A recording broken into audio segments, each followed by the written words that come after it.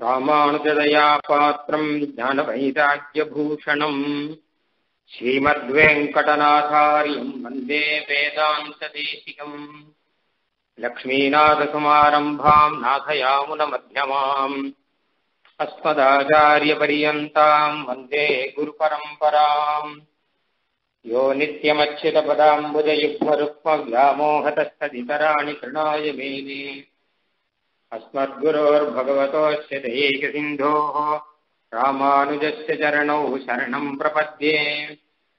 मातापिता युवतयस्तनया विभूतिः सर्वम् युदेव नियमेन मदन्वयानाम्।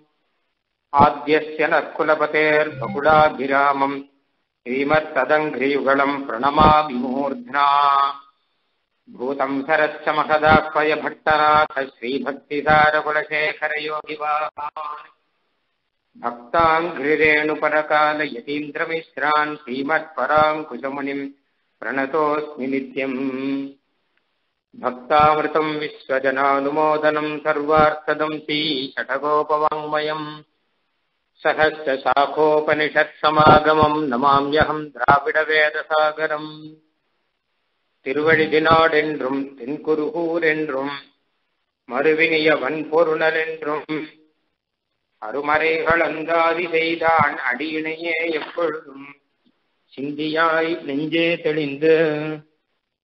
மனத்தாலும் வாயாலும் வன்குருகூர் பேணும்.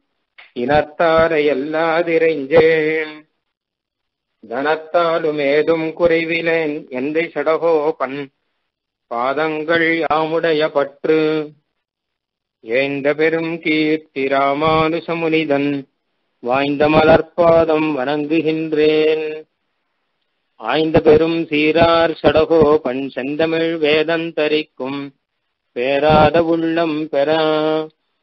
வான் திகழும் சோலை மதிளரங்கர் வன்புகழ் மேல். ஆன்ற தமிழ் மறைகளாயிரமும். ஈன்ற முதல் தாய் சடகோபன் மொயம்பால் வளர்த்த. இதத்தாய் ராமானுசன். இக்கயிறை நிலையும் மெய்யாமுயிர் நிலையும் தக்க நெறியும் தடையாகி துக்கியலும் உள்வினையும் வாழ்வினையும் ஓதும் குறுகையர்கோன் யாழினிசை வேதத்தியல். ஸ்ரீமன்னாத முனீந்திரவம் செயதிராடபீந்து தத்பேரித ஸ்ரீமத் ஸ்ரீ குருகேஷ கிளுப்த ஷடஜித்வேதாந்த பாஷ்யம் சுபம். ஸ்ரீரங்கேஷ கிருதாஜயா श्रुतिशिरसूर्युक्तसारक्रमात् व्याकुर्वन्निगमान्तलक्ष्मणमुनिर्दत्ताम् मतिम् निर्मलाम्। श्रीमान् वेङ्कटनाथार्यः कवितार्किककेसरी। वेदान्ताचार्यवर्यो मे सन्निभक्ताम् सदा हृदि पितामहस्यापि पितामहस्य श्रुतम् वरेण्यम् शतकोपसूक्तेः सहस्रषत्सङ्ख्यकभाष्यकारम् सठारिनामानमहम् प्रपद्ये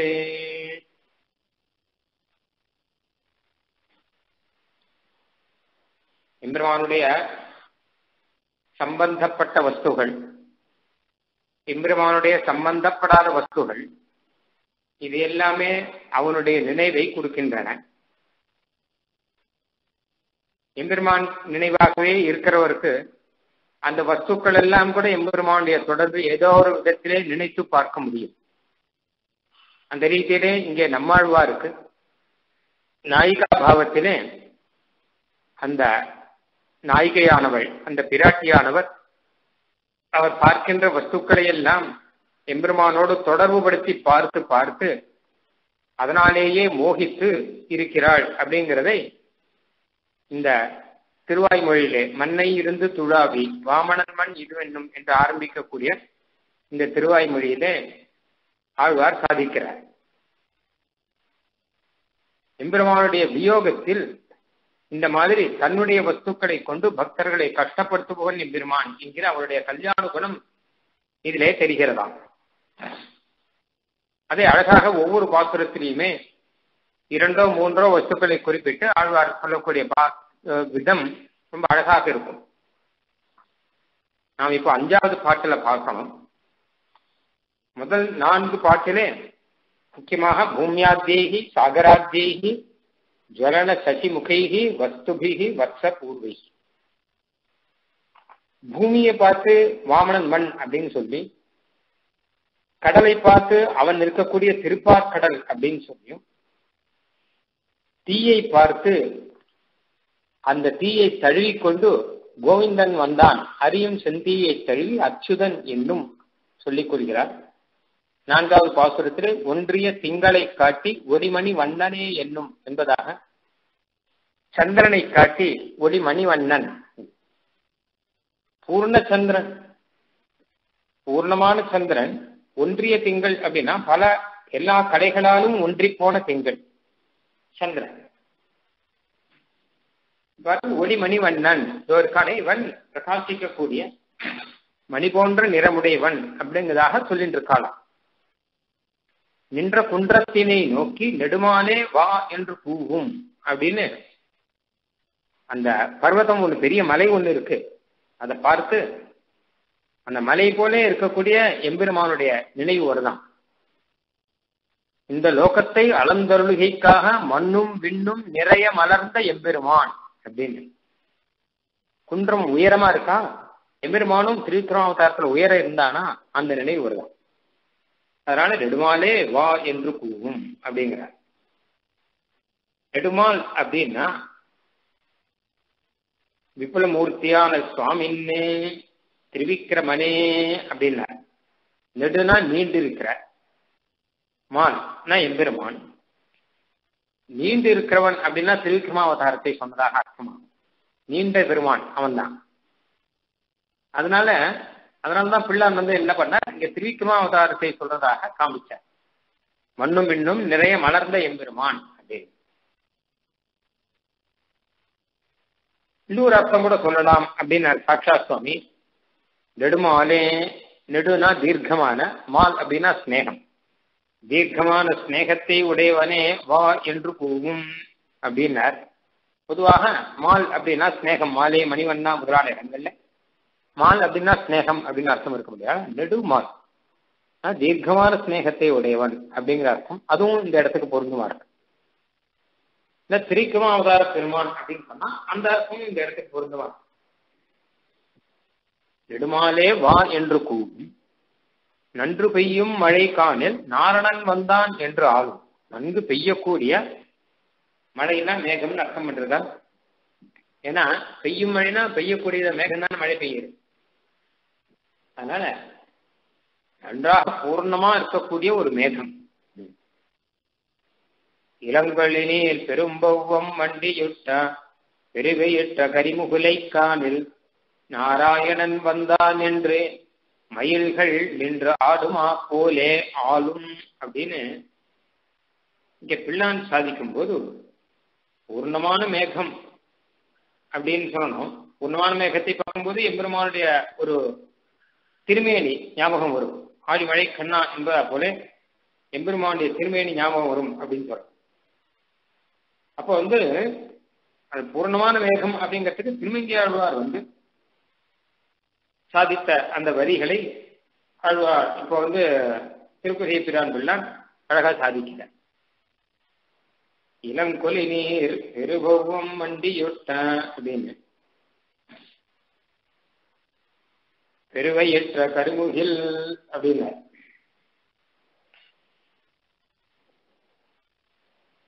இப்போ பூர்ணமான அப்படின்னு அர்த்தம். மகா சமுத்திரம் இருக்கு. இலங்கு ஒலி நீர். நல்ல பிரகாசிக்கக்கூடிய கோஷத்தை உடைய சமுத்திரம் அது. ஜலத்தோடு கூடி மகாசமுத்திரம் அந்த மகா சமுத்திரத்தை மண்டி உண்ட அப்படின்னு அதை அப்படியே பூர்ணமாக மொத்தமாக எடுத்து பானம் பண்ணின பெருவயிற்ற மிகப்பெரிய திருவயிறு. அந்த வயிறை உடைய மேகம். மேகத்துல பெரிய திருவயிறு இருக்கு. அதுல இத இந்த சமுத்திரத்திலேருந்து ஜலத்தை எடுத்துட்டு அந்த மேகமானது எப்படி பூர்ணமாக இருக்கும்போ அந்த மாதிரியாக இருக்கக்கூடிய மேகம் அப்படின்னு சொல்ற. இருக்கையில் சங்கிவை என்கிற பாசுரத்தில். இரு கையில் சங்கிவை எல்லா எல்லே பாவம் என்பதாக பாசுரம் ஆரம்பம். இளங்கொலி நீர் பெரும்பௌவம் மண்டியுண்டா. திருவயிற்ற கருமுகிலே ஒப்பர் வண்ணம். பெருந்தவத்தர் அருந்தவத்து முனிவர் சூழ. ஒரு கையில் சங்கு ஒரு கை மற்றாழிய ஏந்தி உலகுண்ட பெருவாயரை இங்கே வந்து. என் புதுகயற்கண் நீரரும்பி புலவி தந்து. புனலரங்கம் ஊர் என்று போயினாரே என்பதாக திருநெடுந்தாண்டகத்திலே பார்க்கிறோம். இருகையில் சங்கு இவை நில்லா எல்லே பாவம். ரெண்டு கையில வளைய கங்கி நாயிகா பாவத்துல பேசுற. பெருமாள் மேகம் போல இருக்கார் அப்படின்னு சொல்லும்போது சமுத்திரம் மொத்தத்தையும் உண்டு உண்டு உண்ட பெருவயிற்ற மேகம் போல. பெருவயிற்ற கருமுகிலே ஒப்பார் அப்படின்னு.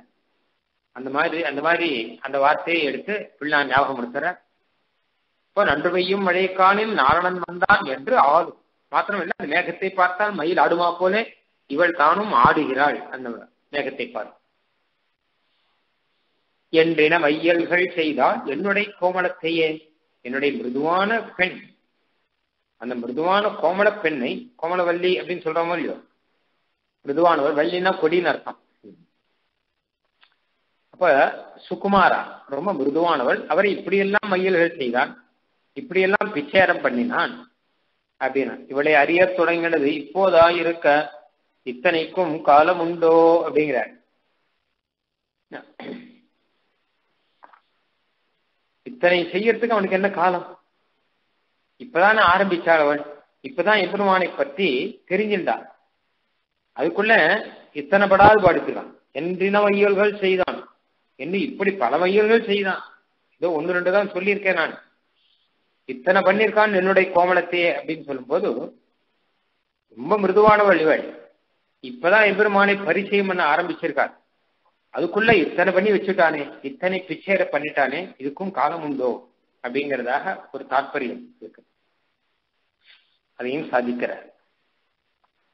ஆக மேகத்தை பார்த்தாலும் தீயை பார்த்தாலும் மலையை பார்த்தாலும் சந்திரனை பார்த்தாலும் காற்றை அனுபவித்தாலும் இப்படி எதை பார்த்தாலுமே எம்பெருமானுடைய ஒரு நினைவோடு கூட இவள் இருக்காள் அப்படின்னு சொல்லிக் கொண்டு வரக்கூடிய ஒரு சந்தர்ப்பத்திலே இன்னைக்கு ஐந்தாவது பாசுரம் பார்க்க போறோம். கோமளவான் கன்றை புல்கி கோவிந்தன் மெய்த்தனவென்னும் போமிள நாகத்தின் பின் போய் அவன் கிடக்கை ஈதென்னும் ஆமள ஒன்று மறியேன் அறிவினையாட்டியேன் பெற்ற கோமளவல்லியை மாயோன் மால் செய்து செய்கின்ற கூத்தே. மாணிக்கம் போலே மிகவும் அழகான பெரியதான கன்றுக்குட்டிகளை போய் தழுவிக்கொண்டு இவை கோவிந்தன் மேய்த்த கன்றுக்குட்டிகள் என்று சொல்லுகிறாள். தானாக போய்கொண்டிருக்கிற சிறிய நாகத்தின் அதாவது சர்ப்பத்தின் பின் போய் இது அவனுடைய கிடக்கையான ஆதிசேஷன் என்று சொல்கிறார். எம்பெருமான் இந்த கோமளவல்லியை இந்த சிறுமியை ஆச்சரியபூதனான எம்பெருமான் பிச்சேற்றி பண்ணுகிற கூத்துக்கள் இருக்கே அது எந்த அளவு ஆகும் என்பதை எந்த அளவு முடியும் என்பதை நான் அறிய மாட்டேன். இது என்னதாக முடியப் போகிறதோ தெரியவில்லை. நான் அறிவினை ஆட்டியேனாக கர்மங்களை உடையவளாக நான் இருந்திருக்கேன். நான் பெற்ற கோமளவல்லியை மாயோன் மால் செய்து செய்கின்ற கூத்து என்னதாக முடியும் என்று தெரியவில்லையே என்பதாக தாயார் சொல்லுகிற பாசம். கோமளவான் கன்றை புல்கி கோவிந்தன் மைத்தன இல்லை கோமள அப்படின்னா மிருதுவான அப்படின்னு அர்த்தம் போன பாசுரத்துல பார்த்தோம் கோமளவல்லின்னு. இப்போ கன்றை பத்து கோமலன்னு சொல்றான் கோமல வான் கன்று வான் வான்னா பெரியன்னு அர்த்தம். அதாவது பருத்து இருக்கிற அப்படின்னு அர்த்தம். கோமல அப்படின்னா மிருதுவான அப்படின்னு அர்த்தம் சொல்லலாம் இங்கே. மிருதுவான கன்றை புல்கின்னு. இருந்தா கூட மாணிக்கம் போலே பிரகாசிக்கிற கன்றை புல்கி அப்படின்னு அர்த்த சாட்சிக்க சாட்சாத் சுவாமி மாணிக்கம் போலே அதி விலட்சணங்களான கோமளம் என்று மாணிக்கத்துக்கும் இளமை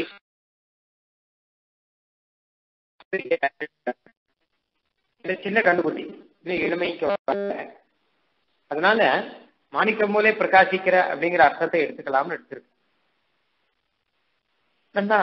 பெருத்து இருக்கு. ஏன்னா கிருஷ்ணனாலே வளர்ந்தது. மிருதுவா இருக்கு. மாணிக்கம் போலே பிரகாசமாக இருக்கு. அழகா இருக்கு. அப்படி இருக்கக்கூடிய கண்டுகளை தள்ளிக்கொண்டு கோவிந்தன் மெய்த்தன அப்படின்னு சொல்றார். இப்போ கோவிந்தன் மெய்த்த கன்றுனா இப்படி இருக்கும். சாதாரண பண்ணு கசு கண்ணுக்குட்டி மாதிரி இருக்காது. வள்ளல் பெரும்பசுக்கள் அப்படிங்கிறார் ஆண்டாள். வள்ளல் பெரும்பசுக்களா இருக்கான் பெரும் பசுக்கள் பெரிய பசு அதுலயும் வள்ளல் பெரும்பசுக்கள் என்ன கேட்டா குடம் கொடுக்க கொடுக்க கொடுக்க மேல பால் கரைஞ்சுட்டே இருக்கான். அப்படின்னு முளைப்பற்றி வாங்க குடம் நிறைக்கும் வள்ளல் பெரும்பசுக்கள் நீங்காத செல்வம் அப்படின்னு சொல்றார்கள் இல்லையா? ஆக என்ன காரணம் அப்படின்னா கண்ணனுடைய கானத்தினாலே வளர்ந்தது. எங்க புல்லு வலி சாப்பிட்டு வளர்ந்தா பரவாயில்ல.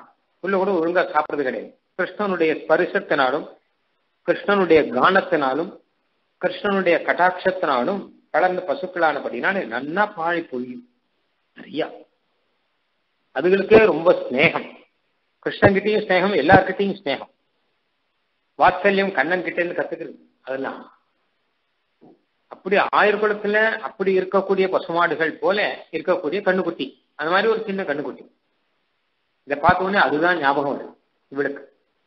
இந்த சாதாரணமா வீட்டுல இருக்கிற கண்ணுக்குட்டியை பார்த்தா அன்னைக்கு காட்டுல பிருந்தாவன காட்டிலே கண்ணன் மேய்த்த கண்ணுக்குட்டி ஞாபகம் வந்துச்சு. கோவிந்தன் மேய்த்தன என்னும் கோவிந்தன் அவதாரம் பண்ணி பசுமாடுகளை மேய்ப்பவன் அப்படின்னு அர்த்தம் கோவிந்தன். பசுமாடுகளை மேய்ப்பவனா? கோஷ்டாத்தியக்ஷேபி கோவிந்தா அப்படின்னா. கோஷத்துல. மாடு கொட்டாக வச்சுட்டு மாடு வைக்கிறோன்றக்கால் அவனுக்கு கோவிந்தன் பெயர். அப்படின்னா அந்த மாதிரி கண்ணன் அந்த திருநாமத்தை எடுத்துன்னு பகவானா நீங்க வந்து பசுமாடு மேய்த்த போது சிவலிங்கத்தையும் விட்டு வந்து மேய்த்த போது இருந்த கண்ணுக்குட்டி ஞாபகம் வந்து இந்த கண்ணுக்குட்டி கோவிந்தன் வைத்த கண்ணுக்குட்டியாச்சே அப்படின்னு சொல்லி போயின்னு இருக்கா மாத்தம் இல்ல கன்றை புல்கி அது இருக்க அலிங்கனம் பண்ணிட்டு கோவிந்தன் வைத்த கன்று அப்படின்னு சொல்றாளாம்.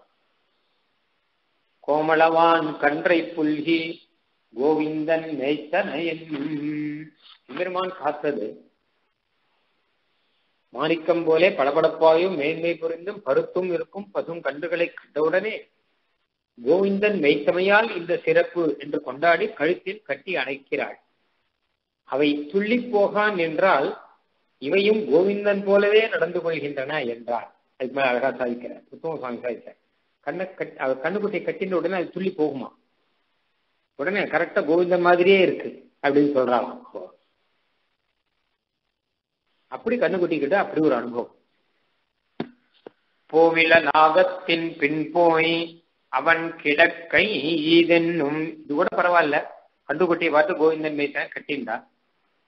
ஆனா போகக்கூடிய சர்ப்பம். மனுஷனை பார்த்தா பயந்து ஓடும். சர்ப்பம். நமக்கு சர்ப்பத்தை பார்த்தா பயம். சர்ப்பத்துக்கு நம்மளை பார்த்தா பயம். அடிக்காம விட மாட்டோம். ஆனா மனுஷனை பார்த்தா அதிவேகமா போகும். அந்த நாகத்தின் பின்னாடி போய் எம்பெருமான் இருக்கக்கூடிய கிடக்கையான திரு அனந்தாழ்வான் இவன் அப்படின்னு சொல்றாளாம்.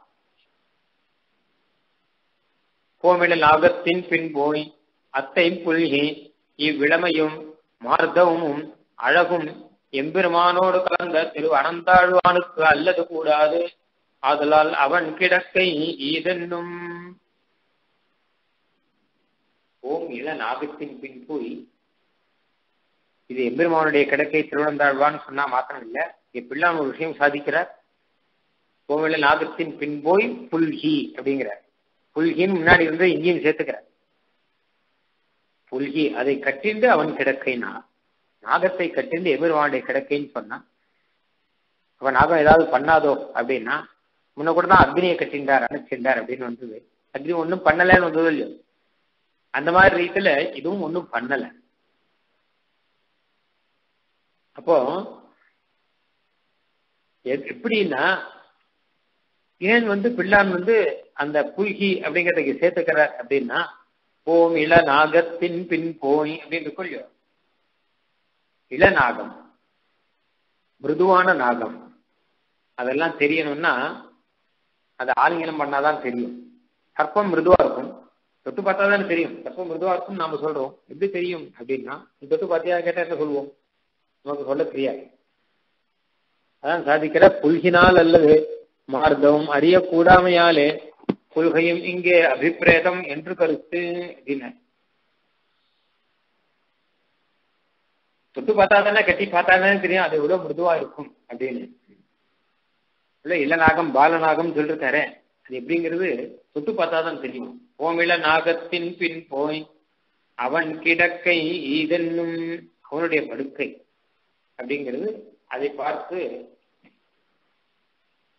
சொல்றான். இங்கேயும் எம்பெருமானுடைய ஞாபகம் வந்திருக்கு அப்படிங்கிறது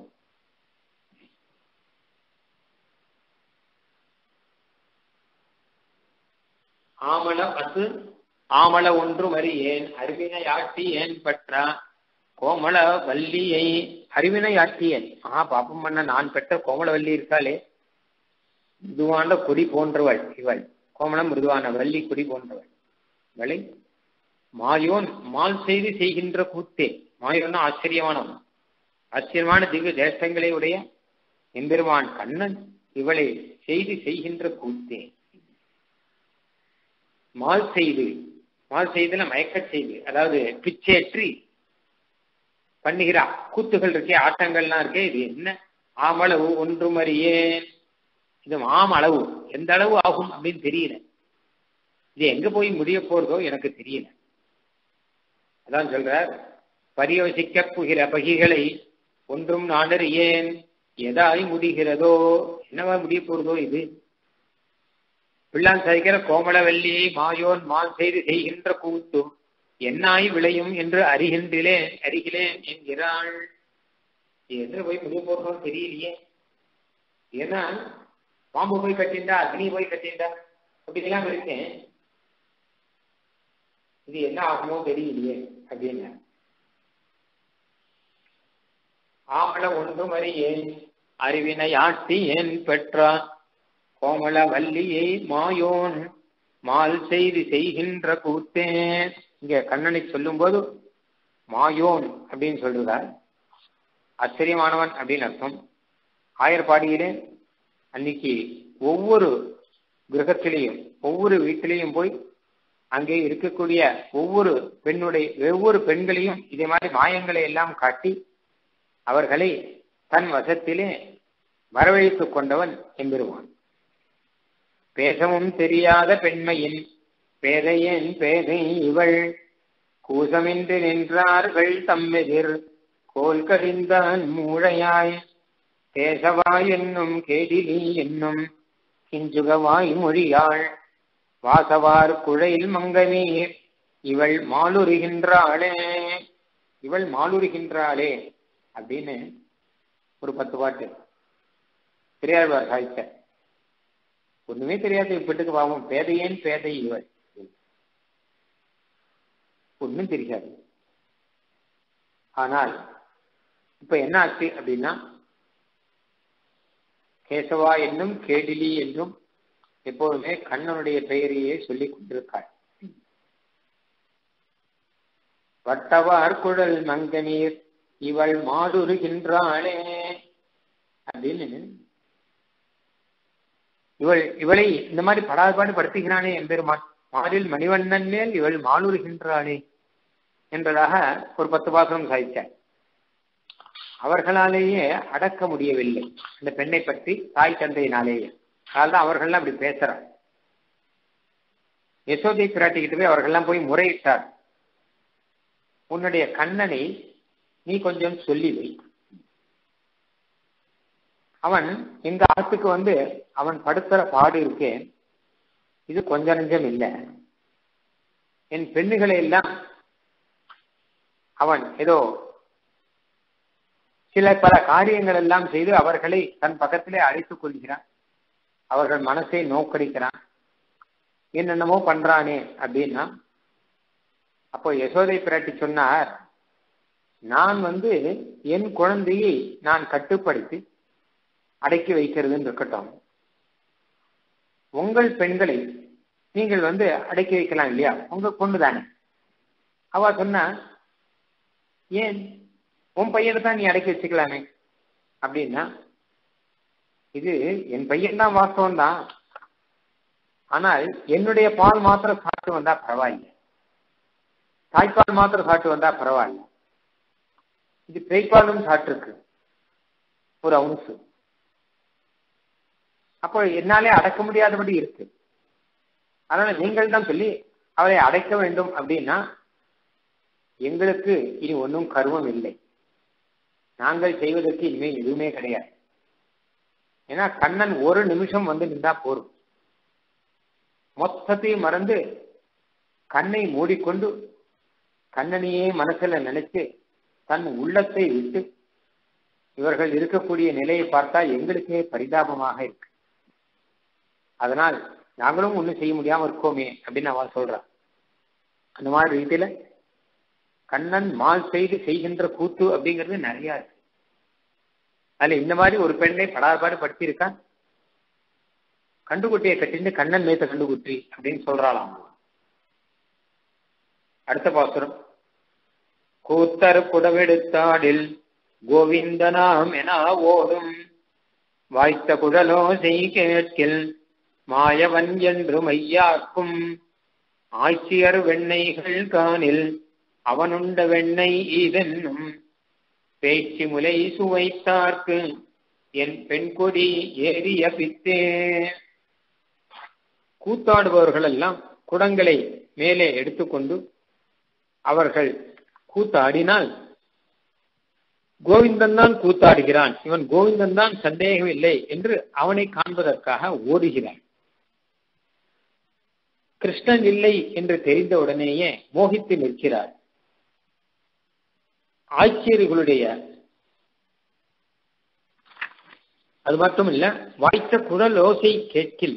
அல்ல புல்லாங்குழல் ஓசை கேட்டால் மாயவனுடைய ஓசை அவனுடைய வேணு கானம் என்று நினைத்து ஓடுகிறாள். ஆட்சியர்களுடைய வெண்ணை எல்லாம் பார்த்தால் அவன் உண்ட வெண்ணெய் இது என்பதாக சொல்லுகிறாள். அன்றொரு நாள் பேச்சியான பூதலையினுடைய முலை சுவைத்த கண்ணனுக்கு என் பெண் கொடி ஆனவள் நிறைய பித்து பித்துகளை அடைந்திருக்கிறாள். கிருஷ்ணனுக்காக வந்த பித்துக்கள் இவையெல்லாம். என்பதாக அர்த்தம் கூத்தர் குடம் எடுத்தாடில் கோவிந்தனாம் என ஓடும் கூத்தாடுகிறவர்கள் பல பேர் இருக்கா அவர்கள்லாம் குடங்களை எடுத்து கூத்தாடுவார். குடங்கள் எடுவல்ல என் கோவே அப்படிங்கிற. கண்ணனும் கூத்தாடுவாங்க வழக்கம். அப்போ கண்ணன் இப்ப இருக்கானோ? இப்ப இல்லையே. இப்ப எங்க இல்லையே. கூத்தர்கள் யாராவது குடங்களை எடுத்து கூத்தாடின்னு இருந்தா உடனே கண்ணன் தான் கூத்தாடுறான் அப்படின்னு சொல்லிட்டு அவன் ஓடுறான். கோவிந்தனாம் என ஓடும் கோவிந்தனாம் இது கோவிந்தன் தான் அப்படின்னு போராடலாம் அப்படின்னா என்ன தாற்பயம்னா பிள்ளான் சொல்ற. கோவிந்தன் அல்லன் கான் என்றாலும் ஆங்கான் என ஓடும் எல்லாம் இவ ஓடுறத பார்த்து எல்லாரும் சொல்றாளா? கூத்தர்கள் பார்த்து கோவிந்தன் கோவிந்தன் ஓடுறாங்க நீ பக்கத்துல இருக்கல சொல்ல கோவிந்தன் இல்ல கோவிந்தன் இல்ல அப்படிங்கிறாளா இல்ல இல்ல கோவிந்தன் தான் சொல்லிட்டு போறாளாம். வேற யாராவது சொன்னா கூட அது மனசுல ஏறல. கோவிந்தன் தான் இது அப்படின்னு சொல்லி போறாளாம். வாய்த்த குழலோ செய் கேட்கில் மாயவன் என்று மையாக்கும் அழகான குழல் ஓசை வைத்த குழல் ஓசை. அப்போ திருக்குறள் புல்லாங்குழல் இருக்கு இல்லையா? புல்லாங்குழல் ஓசையை கேட்டாலே வாய்த்த குழல் ஓசை அது. ஏதோ கேட்க நேர்ந்துருச்சுன்னு வச்சுக்கோங்க. ஏதோ ஒரு காரணமா இருந்தா குழலோசை கேட்டுது. உடனே மாயவன் மாயவன் போறான். மாயவன் என்று அழகிய குழலோசை கேட்டு இவளை பெற ஒண்ணாது என்று கேளாது துருபடி காய்ச்சி செல்லா நிற்கச் செய்தேன். எங்கேனும் ஓரிடத்தில் பின்னையும் லப்தமானவாறே. அடியேன் மாயவன் என்று ஓடும். அப்படின்னு அழகா சாதிக்கிற வாய்த்த அப்படிங்கிறதுக்கு அர்த்தம். குழலோசையை இவ காதல விழவிடக்கூடாதுங்கிறதுக்காக படாபாடு பண்றான். இத்தனை இத்தனை பண்றவள் புல்லாங்குழல் ஓசையை கேட்டா ஓடியே போயிடுவார் அன்னைக்கு ஒரு நாள் வேணுகானம் பண்ணிதானே கோபிகளை எல்லாம் தன் பக்கம் விதித்தான் ராசக்கிரீடைக்கு முன்னாடி யமுனா நதி கரையில உட்காந்து புல்லாங்குழல் வாசிச்சான் மொத்த பேர் அங்க போய் நிக்கிறார். ஒருத்தி பாக்கி இல்லாமல் நாவலம் பெரிய தீவினில் வாழும் நங்கமீக இதோர் அற்புதம் கேளீர் அப்படிங்கிற பெரியாழ்வார். இது கோவிந்தன் புல்லாங்குழல் குழல் ஒளி கேட்ட உடனேயே மொத்த பேரும் தன் தன் வசம் இழந்து தன் நிலை மறந்து மொத்த பேரும் அங்க போய் நின்றான். அப்ப மறுபடியும் குழல் ஓசையை கேட்டா இவரும் அதே மாதிரி ஆயிடுவாங்கிறதால குழல் ஓசை இவ காதலையும் விழக்கூடாதுங்கிறதுக்காக பொத்தி பொத்தி பார்த்து வளர்க்கிறாங்க ஆனால் திடீர்னு எங்கேயோ கேட்டுடுத்து அவ்வளவுதான். குழல் ஓசை கேட்ட உடனே இவன் நிலை மாறிட்டான் இவன் முகத்தை பார்த்த உடனே அவளுக்கு புரிஞ்சிருத்தோம் உடனே கோவிந்தன் இல்லைனா இல்ல இல்ல கோவிந்தன் தான் அப்படின்னு சொல்லிட்டு ஓடுறான். மாயவன் அப்படிங்கிறான் வாய்த்த குழலோ செய் கேட்கில் மாயவன் என்று மையாக்கும். மாயவன் என்னும் அப்படின்னு. மாயவன் கோபிகளுடைய பிரணய ரோஷம் மாறும்படி வினயோக்திகளை வேணுவினே வாதிப்பிக்கும் ஆச்சரிய பூதன் அப்படிங்கிறார். ஓடும்னு வச்சுக்கணும். மாயவன் என்று ஓடும் அப்புறம் மையாக்கும். மாயவன் என்று ஓடுகிறார் என்ன ஆச்சரியம் அப்படின்னு கேட்டா இந்த ஒரு புல்லாங்குழல் நாதத்தை வச்சுட்டு எத்தனை கோபிகளை தன் வசப்படுத்தியிருக்கான். ஊதும் அத்தீங்குழற்கே உய்யேன் நான் அப்படிங்கிற இடமாடுவாரே இந்த புல்லாங்குழல் ஒன்னே எனக்கு போதும். வேற எதுவும் வேண்டாம். அது மொழின் இடையிடை தஞ்சை கோல பேதுரு கண்கள் கொண்டு இல்ல தீதிரு மொழிகள் கொண்டு ஒன்று பேசி மொழிகள்னாலே பேசணும் கண்ணினாலே நோக்கணும். ஆனா இவன் கண்கள் கொண்டு ஒன்று பேசி கண்கள்னாலே பேசுறானா? அவன் மொழிகள்னாலே பார்க்கிறானா? புல்லாங்குழல் நாதத்திலே இவன் ஒரு ஒரு பெண்ணை பார்க்கும் போதும் அந்த பெண்ணுடைய பெயரையும் வச்சு சேர்த்து பாடுறான். அது அவளுக்கு மட்டும்தான் தெரியும். வேற யாருக்கும் தெரியாது. கோபியுடைய பிரணய ரோஷம் மாறும்படி. கோவிந்தன் வரலையே வரலையே அப்படின்னு மாலை வேஷத்துல ஓய்ந்தனை காணோமே காணோமே அப்படின்னு அவர்கள்லாம் கோபப்பட்டு நிற்கும்போது அவருடைய கோபத்தை தீர்க்கும்படியான வார்த்தைகள் அத புல்லாங்குழலாயே பேசுவான். தூதுசல் கண்கள் கொண்டு ஒன்று பேசி தூமொழி இசைகள் கொண்டு ஒன்று நோக்கி அப்படிங்கிற ஆழ்வார். தூதுசல் கண்கள் கொண்டு ஒன்று பேசி. கண்கள்னாலே பேசுறான். கண்களையே தூது விட்டு ஒரு தூதனை தூது அனுப்பிச்சு அந்த தூதன் என்னென்ன பேசுவானோ அது மொத்தத்தையும் ஒரு கண்ணாலேயே பேசுறான். இது மாதிரி தூமொழி இசைகள் கொண்டு புல்லாங்குழல்னாலேயே பார்க்கிறான். ஒரு ஒரு பெண்ணானவள் தான் அழகாக அலங்காரங்கள் எல்லாம் பண்ணிட்டு கண்ணனை பார்க்கணும்னு வந்து நின்றான்னா இவன் புல்லாங்குழல்னாலேயே உன்னுடைய கோலம் ரொம்ப அழகாக இருக்குன்னு புல்லாங்குழலையே சொல்றான்.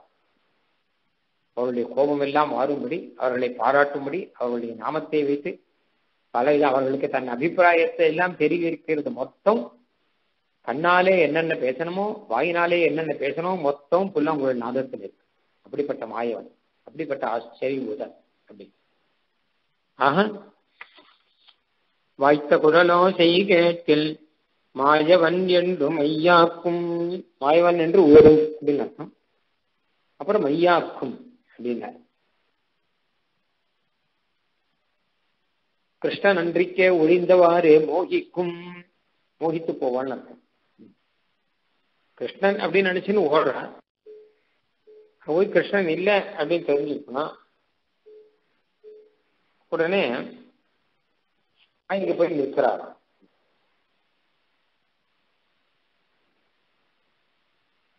வாய்த்த குழலோசை கேட்கேன் மாயவன் என்று மையாக்கும் ஆய்ச்சியர் வெண்ணெய்கள் காணில். மையாக்கும்னா மோகிக்கும் ஆய்ச்சியர் வெண்ணெய்கள் காணில் அவனுண்ட வெண்ணெய் ஈதன்னும். ஆட்சியருடைய வெண்ணெய்கள் நிறைய. பசுமாட்டு வெண்ணெய் எருமாட்டு வெண்ணெய்னு என்னென்ன வெண்ணெயோ நிறைய இருக்கு. எல்லாம் அவன் அந்த கோவிந்தன் உண்ட வெண்ணெய். கோவிந்தன் களவு கொண்டு உண்ணப்பட்ட வெண்ணெய் மிச்சம் இது அப்படின்னார். ஒரு வெண்ணெய்க்காக படாபாடு விட்டுருக்கான் பகவான். ஏதோ ஒரு நாள் போனான் வெண்ணெய் சாத்தான் வந்தான் அப்படின்னு கதை இல்லையே. இவன் வெண்ணெய் சாத்த கதை அப்படின்னு எத்தனையோ இருக்கு இல்லையா? அப்போ அது எல்லாத்தையும் நினைக்கிறாரு. அவனுண்ட வெண்ணெய் ஈதென்னும் அப்படின்னார்.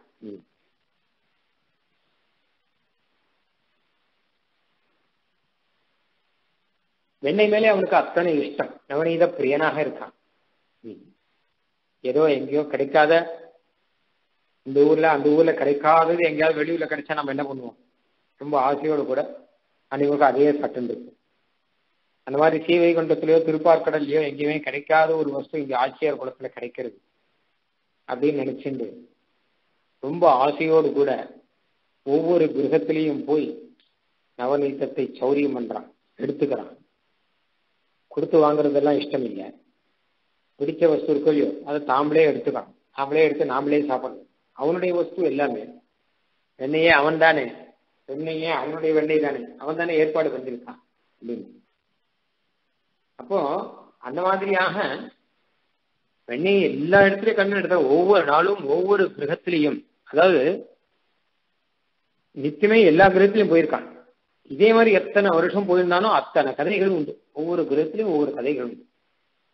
இவன் வெண்ணெய் திருடின கதை அப்படின்னு ஏதோ கொஞ்சம் தான் வந்திருக்கு வெளியில. கிருஷ்ணன் வெண்ணெய் திருடின கதை நிறைய சொல்றான் ஆனா அதெல்லாம் அவனுடைய லீலையில ஏதோ கொஞ்சம் தான் இருக்கு. அத்தனை வெண்ணெய் சாப்பிட்டுருக்கான் அதான் வெண்ணெய்கள்னு போட்ட ஆட்சியர் வெண்ணெய்கள் காணில் அவன் உண்ட வெண்ணெய் ஈதன்னும் பேச்சு முலை சுவைத்தார்க்கு என் பெண் கொடி ஏறிய பித்தே பேச்சு முலை சுவைத்தார் பேச்சுன்னு சொல்றது என்னன்னா உயிரை மாய்க்கணும். கண்ணனுடைய உயிரை மாய்க்கணும். மாய்த்தல் எண்ணி வாய்முலை தந்த பேச்சியை மாற்ற இச்செயல் கிடீர் இவளை இப்பாடுபடுத்துகிறது என் இறால். கண்ணனை மாய்க்க வேண்டும் அப்படிங்கிறதுக்காக பேய் வேஷம் போட்டுட்டு கடைசியில தான் மாய்ந்து போன ஒரு பேச்சு இருக்காளே ஆய்ச்சி வேஷம் போட்டுன்னு வந்த பேச்சு கூத்தனை. அவளை மாய்த்த எம்பெருமானுடைய இந்த செயல் இருக்கு இல்லையா? கூத்தனா சம்ஹாரம் பண்ண இது ஒண்ணுக்கே அவ தோத்து போயிட்டாள். இது ஒண்ணுக்கே அவள் மொத்தத்தையும் இழந்துட்டாள். பேச்சு முலை சுவை சார்த்து என் பெண் கொடி ஏறிய பித்தே லத்தை போலே சுகுமாரியான என்னுடைய பெண்ணு உன் மஸ்தகமான அடைந்த பிச்சுக்கள் இவையெல்லாம் கிருஷ்ணனுக்காக வந்த உன்மாத பிரகாரங்கள் அப்படின்னு அர்த்தம். டாக்டர் சுவாமி சாதித்தார் இந்த தான் இவளை இப்பாடுபடுத்தியது அப்படின்னா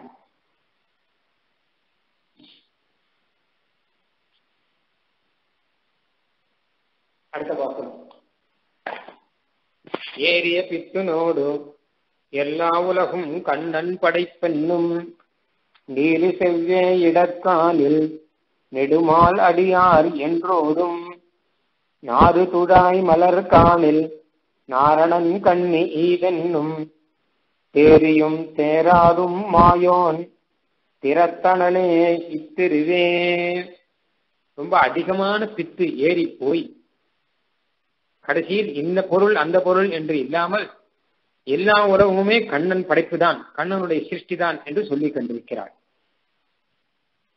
நெற்றியிலே நீர் இட்டு கொண்டிருந்தார்கள் கூட அதை கீழிருந்து ஆரம்பித்து மேல்முகமாக திருமணிடுவது போலே விஷ்ணு பக்தன் என்கிற முறையிலே இட்டுக்கொண்டிருந்தால் அது யாரா இருந்தாலும் சரி அப்படி ஒருவர் இடுவாரானால் இதோ இருக்காரே பரம வைஷ்ணவர் எம்பெருமானுடைய பக்தர் என்று சொல்லி அவர் பின்னாடியே போகிறார். நல்ல மனத்தோடு கூடிய துளசியை காணில் நாராயணனுடைய துளசி இது என்று சொல்லுகிறார். இப்படி தேறி நின்றியும் தேராது நின்றியும் இவள் எம்பெருமான் பற்றி அவன் விஷயத்திலேயே நிற்கிறார் அதாவது நன்கு தெளிந்த நிலையிலும் தெரியாமல் கலங்கின நிலையிலும் ஆச்சரியபூதனான எம்பெருமான் விஷயத்திலேயே அவனையே மனதில் கொண்டிருக்கிறாள் அப்படின்னு அர்த்தம். ஏறிய பித்தினோடு எல்லா உலகும் கண்ணன் படைப்பு என்னும் எத்தனை ஏழும் பித்தேறினாலும் எல்லா உலகும் கண்ணன் படைப்பு என்னும் இது ஒன்றுமே தப்பாமல் சொல்லும். எத்தனை பை எத்தனை பித்து என்னாலும் சரி இதை விட மாட்டேங்கிறார் அப்படின்னா. பிரவருத்தமான உன்மாதம் நிறைய. எதுவானாலும் இதை விட்டு வேற ஏதாவது சொல்றாளா அப்படின்னா அது கிடையாது. எல்லா லோகம் கண்ணன் படைச்சது தானே அப்படின்னு இதையே திருப்பி சொல்லிருக்கான் ஏரிய பித்து அப்படிங்கிற. அதாவது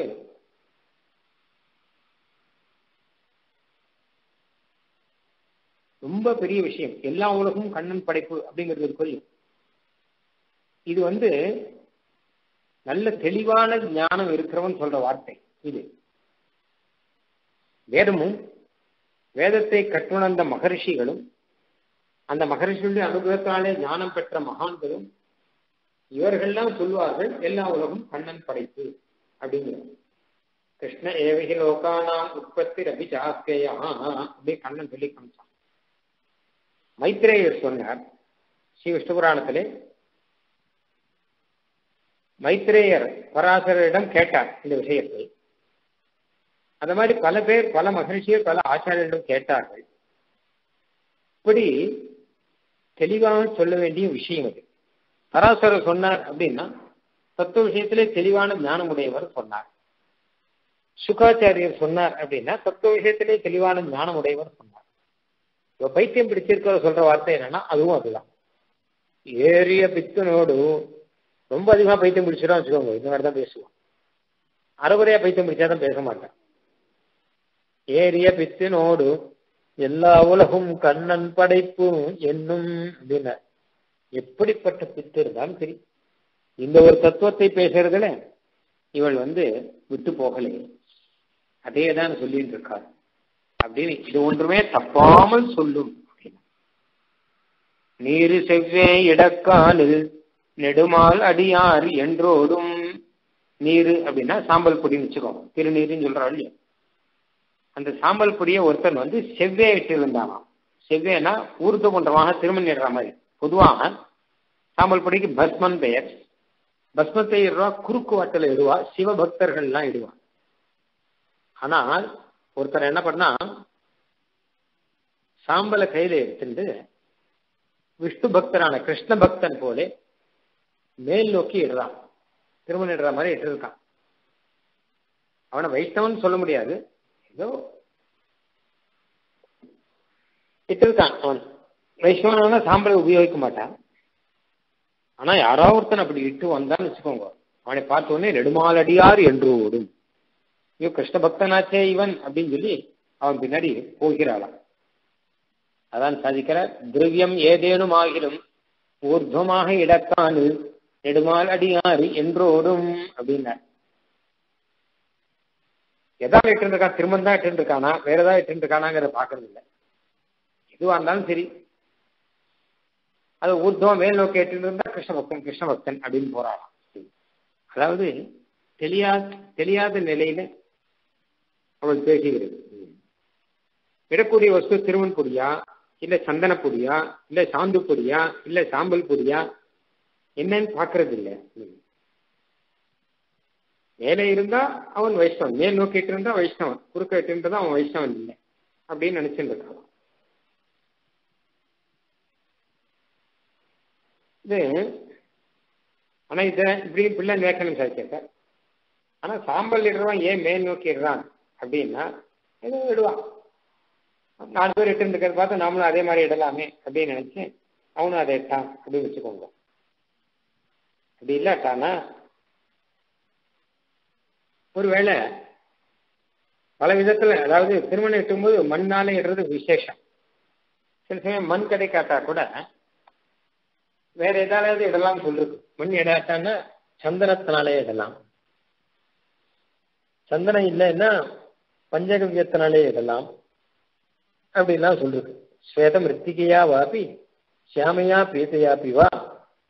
அப்புறம் ஊர்துகுன்றம் விவேக்காரியம் வைஷ்ணவிஸ்து விசேஷத்தா. சந்தனாகுருபிச்சைவ கர்த்தவியம் க்ஷத்ரியர் புதி வைசியச்ச வில்வ மூலேன சூத்ரே பூத்தியா சயோத சதோஹியா அப்படின்னு இந்த ஊர்துகுன்றமானது எதால வேணா இடலாம் அப்படின்னு சொல்லிருக்கு இதெல்லாம் அடுத்தடுத்த பட்சம் மண்ணால இடறது முக்கியம். வெள்ளை மண்ணா இருக்கணும். திருமண் அப்படின்னு பேர் அதனால்தான். வெள்ளை மண்ணால இடணும் இந்த இடறேன்னா அடுத்தடுத்த தெரியும் சொல்லிட்டே வரா இது இல்லாட்டா சந்தனத்தால இடலாம் மஞ்சள் ஆகும் அப்படிலாம் சொல்லிட்டு வரும்போது சாம்பலும் கடைசியில சொல்லியிருக்கான் அதனால அப்படியும் இடத்துக்கு பிரசக்தி உண்டு. யாரோ ஒருத்தான் அப்படியே எட்டுறான்னு வச்சுக்கோங்க. சாம்பலை தான் எட்டிருக்கான் அப்படி. இந்த ஆளு நீரு செவ்வே இடக்காந்து நெடுமாலடியார் என்று விடும் எந்த பொடியா இருந்தாலும் அப்படி எட்டிருந்தாலும் நெடுமாலடியார். கிருஷ்ணனுடைய பக்தர் கிருஷ்ணனுடைய பக்தர் அப்படின்னு சொல்லி போறாள் திரியம் ஏதேனும் ஆகிலும் ஊர்வமாக இடக்கானில் நெடுமாலடியார் என்றோடும் நாறு துழாய் மலர் காணில் நாரணன் கண்ணி ஈதன்னும். துழாய் வளர்த்து துழாயை பார்த்தா எம்பெருமாண்டி கண்ணிங்க. மாலைன்னு அர்த்தம். இது என்னன்னா மற்றதாவது பரவாயில்ல. எம்பெருமானோட சம்பந்தம் இல்லாதது. இப்ப நீரு அப்படின்னா எம்பெருமானுடைய சம்பந்தம் இல்லாது திருத்துழாய் எம்பெருமானுக்கே ஆனது. ததிய வஸ்து சாதுஷ்யத்தாலே சதியம் அல்லாதவற்றையும் சதியமாக கருதி பிதற்றுகிற இவள் அவனுக்கு அசாதாரண சேஷபூதமான திருத்துழாயை கண்டால் என்படும் அப்படின்னு பிள்ளாக்கான வியாக்கியானம் இருக்கேன் எம்பெருமானோட சம்பந்தம் இல்லாத வஸ்துவையே சம்பந்தப்படுத்தி பார்த்து பிச்சை நிற்கிறான்னா எம்பெருமானுக்கு மட்டுமே சம்பந்தம் இருக்கிற திருத்துழாயை பார்த்தா என்ன ஆவாளோ இவள் அப்படின்னு நினைக்கிறான் மாறு துழாய் மலருக்கானில் எம்பெருமானுக்கு மட்டும்தானே திருத்துழாய் நீருன்னா எம்பெருமானு உடையது இல்லையே. ஆனா திருத்துழாய்ங்கிறது எம்பெருமானுக்கு மட்டுமே இருக்கு. அதனால அதையெல்லாம் பார்த்து மோதிக்கிறவள் இதை பார்த்தா என்ன ஆவாளும்? நாரணன் கண்ணி ஈதென்னும் தேரியும் சேராதும் மாயோன் திறத்தனலே திருவே அழகொல்லியன் நான் என்ன சொல்றது? தேறி நின்றாலும் சேராமல் நின்றாலும் எம்பெருமான் திறமன்றி வேறு எதுவும் தெரியாது இவளுக்கு. இவள் யார்னா? இத்திருவே அப்படிங்கிற. இவர் திரு இவள். லக்ஷ்மி பிராட்டி போன்றவர் இவர். அதனால ஐகாபாவத்திலே இருக்கக்கூடிய இந்த பெண் எம்பெருமானை தவிர வேற எதையும் நினைத்து பார்க்காத பெண் அப்படின்னா அப்ப லக்ஷ்மி தானே சொல்லணும். பெரிய பிராட்டியார் மாதிரி தானே சொல்லணும். அதனால அவளையே திரு அப்படிங்கிறார். தேரியும் தேராதும் மாயோன் திறத்தனலே. மாயோன்னு ஆச்சரியமான ஆச்சரியபூதமான அவன் விஷயத்திலே இரான் என்றாள். அப்படிங்கிறார். இத்திரு இந்த ஸ்ரீயானவள் விஷ்ணு ஸ்ரீஹி என்னுமா போலே அவனுக்குமே சம்பத்தா இருக்கிற இந்த பிராட்டி என்றபடியே சாட்சாத் சொல்றார். இத்திரு திருனா ஐஸ்வர்யம் சம்பத்து செல்வம்னு அர்த்தம். என் பெண் இருக்காளே அவளே ஒரு பெரிய செல்வம். யாருக்கு? அப்படின்னா விஷ்ணுவுக்கு. கண்ணனுக்கு. கண்ணனுக்கே செல்வமாக இருக்கக்கூடியவள்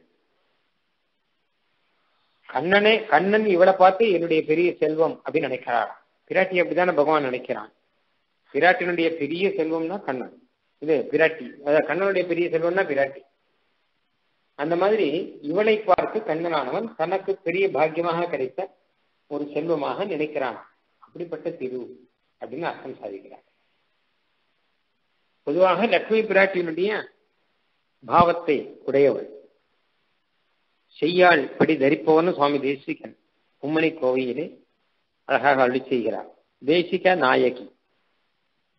ஸ்ரீ தேசிகன் நாயிகா பாவத்தில் இருக்கிறவர். அப்போ உம்மணி கோவிலிலே பாட்டுகள் அள்ளி செய்கிறார்.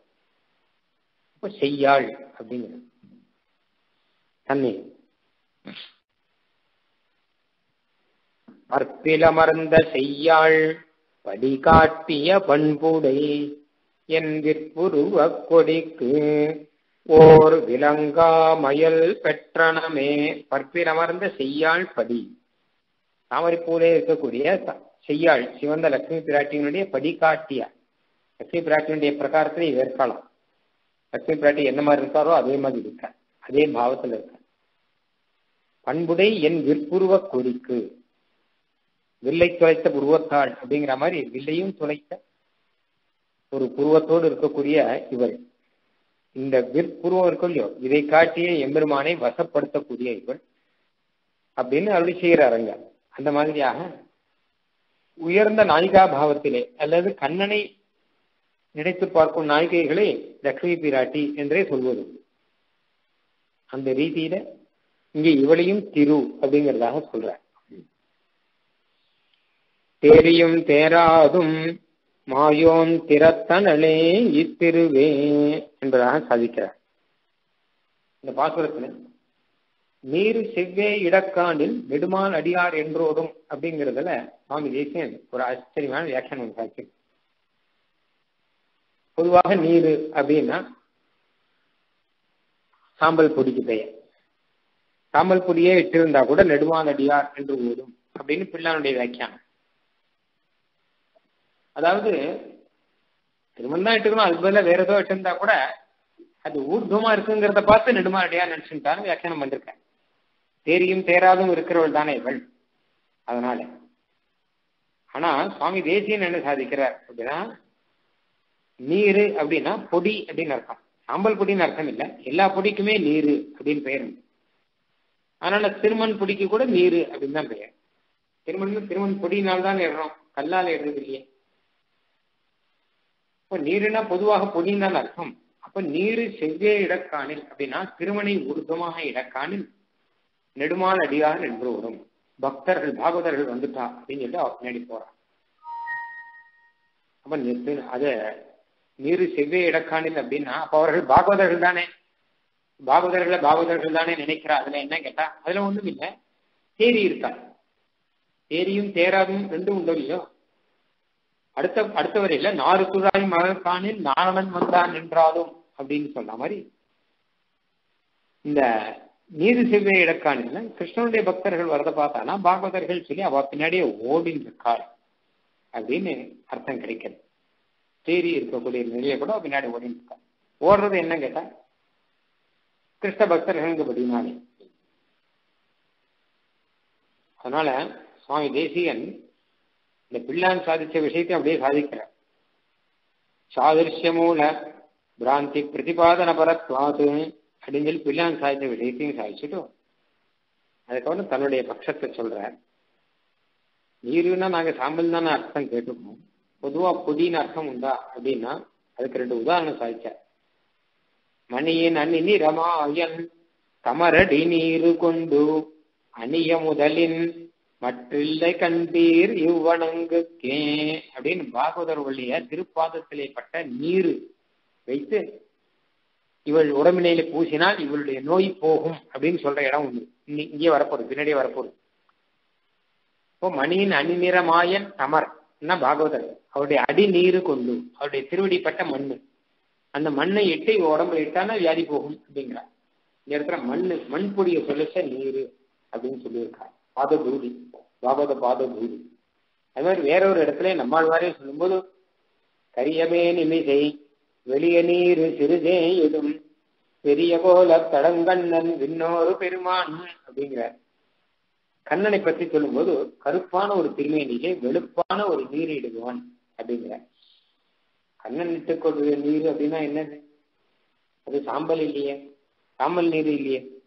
திருமணைத்தானே சொல்ற திருமன் தானே கண்ணன் வழியாக கரிய மீன் விசை வெளிய நீர் சிறிதே இடும். அப்படின்னு இங்க நீர் அப்படின்னு சொன்னது குடி.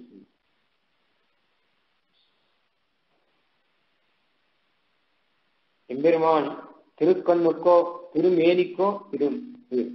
அந்த இடத்துல ரெண்டு மூணு நாள் வியாக்கியானம் பண்ற ஒன்றும் கற்பூர பொடி அப்படின்னு வியாக்கியானம். கற்பூரா லேப சாதிக்க. சாதிக்கிற கற்பூர பொடின்னு கூட வியாக்கியானம் பண்ணாங்க இது ஆனால் அது ஒரு பொடி. அதனால நீர்னா பொடின்னு தான் இருக்கும் சாம்பல் பொடியும் பொடியான பொடினா அதையும் நீருன்னு சொல்லலாம். நாலாவட்டத்தில் சாம்பலை மாத்திரம் நீருன்னு சொல்லியிருந்தா ஆனா எல்லாமே அர்த்தம் உண்டு. ஆனால் நீர் செவ்வே இடக்காணி அப்படின்னா அது வந்து இங்க திருமணைத்தான் குறிப்பிடுறது. ஊர்தவனமாக இடக்கூடிய திருமணைத்தான் குறிப்பிடுறது என்பதாக சுவாமி தேசியன் அற்புதமாக வியாக்கியானம். ஸ்ரீ சச்சரித்திர ரக்ஷா அப்படிங்கிற கிரந்தத்துல ஊர்துவகுன்ற தாரண பிரகரணம். அப்படின்னு திருமணி இடக்கூடிய பிரகரணத்தை பற்றி சொல்லும்போது இந்த கேள்வி வரும். ஆழ்வார் நீர் சிந்தைய இடக்காணின்னு சொல்லிருக்காரு. அதனால சாம்பல் எட்டா என்ன அப்படின்னு கேட்ட போது ரெண்டு சமாதானம் சொல்றாரு. அங்க சாம்பல் இடத்தை பத்தி ஆழ்வார் சொல்லிருக்காருன்னு வச்சுப்போம். பிள்ளான் அதுதான் சாதிச்சிருக்காரு. ஆனா என்ன அர்த்தம் கேட்டா சாம்பல் இடக்கூடாது. ஆனா சாம்பலே இட்டிருந்தா கூட அது செவ்வே இடக்காணில் மேல் நோக்கிட்டு இருந்தானா அப்ப எம்பெருமான் அடிவார் அப்படின்னு நினைக்கிறாருன்னு அர்த்தம். இல்ல சுவாமி தேசிகனுடைய அர்த்தம் என்ன நீருனாலே கொடி அப்படின்னு தான் அர்த்தம். ஆனால் நீர் செவ்வே இடக்காணில் நெடுமான் அடியார் என்றும் அப்படிங்கிறது கொடியை தரிக்கிறவர் கூட இப்போ நீருனா சாம்பல் கூட சில சமயம் தரிக்க சொல்லியிருக்கு.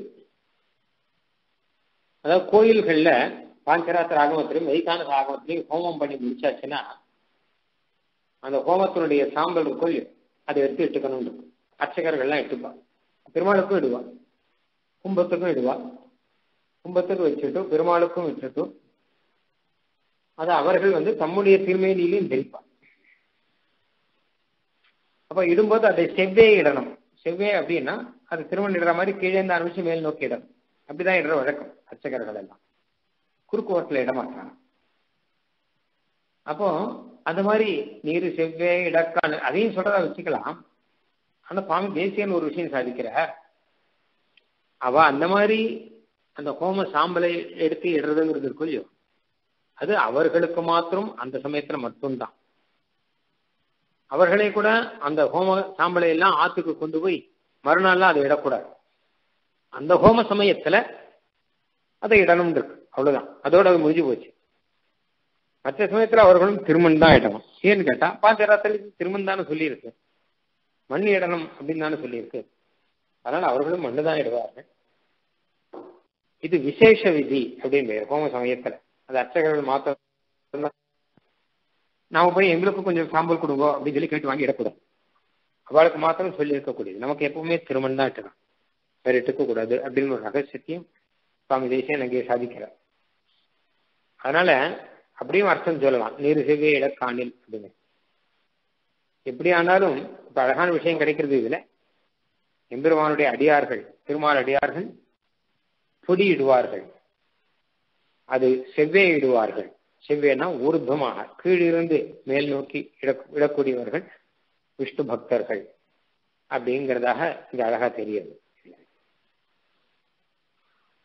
அப்போ தேரியும் தேராதும் மாயோந்திரத்தனலே இத்திருவே அப்படிங்கிறதாக இவருடைய நிலைமையை எம்பெருமான் இவளை படுத்தின பாட்டை அதனால் இவள் பிச்சேரி மயங்கி நின்றதை இங்கே எடுத்து சொல்லிக் கொண்டிருக்கிறார். இந்த இடத்துல நம்ம தாற்பரிய ரத்னாவளி ஸ்லோகங்களை பார்க்கும்போது எந்தெந்த விஷயத்தை இங்கே அவர் சொல்லுகிறாரோ ஆழ்வார் குறிப்பிடுகிறாரோ அதையெல்லாம் ஒன்று ஒன்றாக தொகுத்து இந்த திரவியத்தை இப்படி பார்க்க இந்த திரவியத்தை இப்படி பார்க்க சொல்லக்கூடிய ஸ்லோகம் பூமியாத்யை சாகராத்யை ஜலன சசிமுகை வஸ்துபிர்வத்சபூர்வை नृत्यद्भिस्वैश्चलोकादिभिरत पृथिवीक्षिद्भिरात्मीयदासैः सौलभ्यैश्वर्यवर्गैरपि च गुणगणैर्वासुदेवो वियोगे स्वीयैः तुल्यैश्च भक्तान् व्यथयति मधुगे यब्रवीत्